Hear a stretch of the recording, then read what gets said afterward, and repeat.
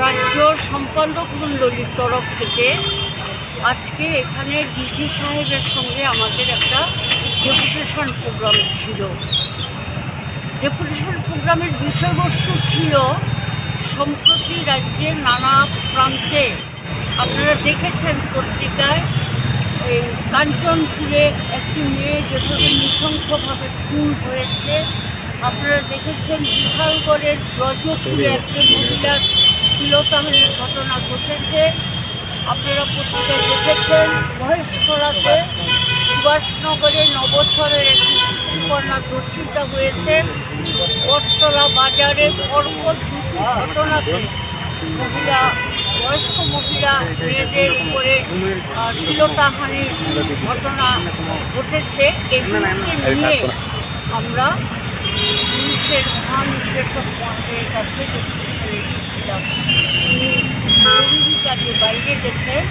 তো ডিআইজি সাহেব যেন নাম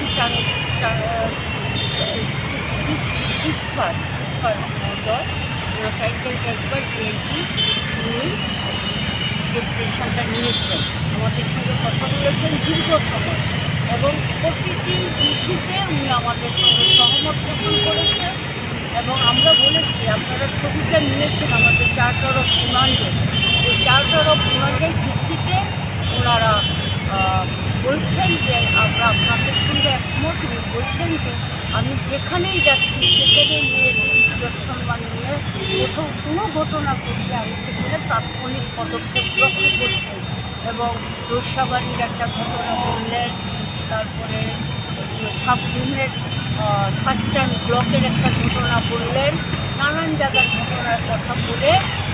বললেন যে, আমার কাছে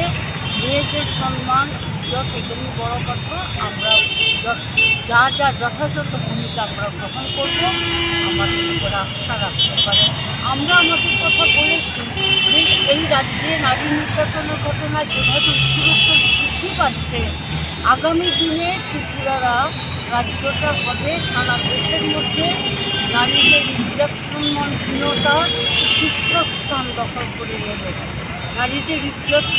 বলতে কিছু থাকবে না এই রাজ্যে, এটা যা দেখা যাচ্ছে।